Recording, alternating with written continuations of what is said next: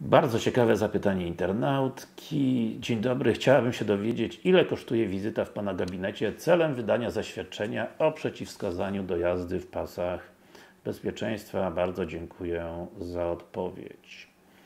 Y, no, małe sprostowanie, w zasadzie nie wydaje zaświadczeń, tylko wymagane prawem o ruchu drogowym orzeczenia lekarskie, zaświadczenia no, mogą tylko spowodować to, że policjant nam wlepi mandat, pomimo tego, że mamy to zaświadczenie. Oczywiście y, jest parę warunków, wymagam osobistego stawienia się do pacjenta.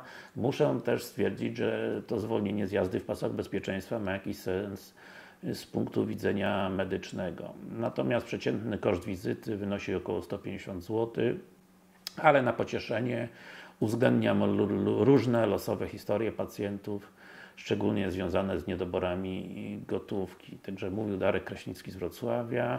Koniecznie skomentuj to wideo.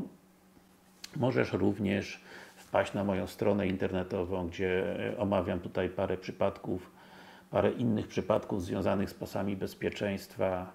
Także mile Twój oddźwięk jest widziany, tak jak każdego z Was.